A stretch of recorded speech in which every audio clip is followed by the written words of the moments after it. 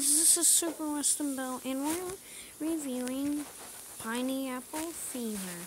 Okay, so uh, this episode I really liked. It was very good.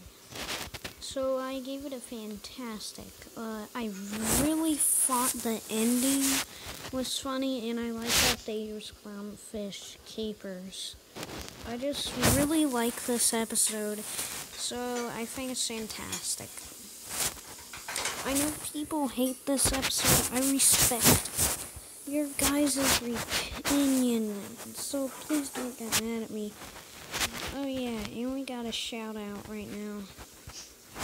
Shout out to Spicy Gamer oh, for the idea. So anyways, bye guys. I hope you like this review on Pineapple Fever.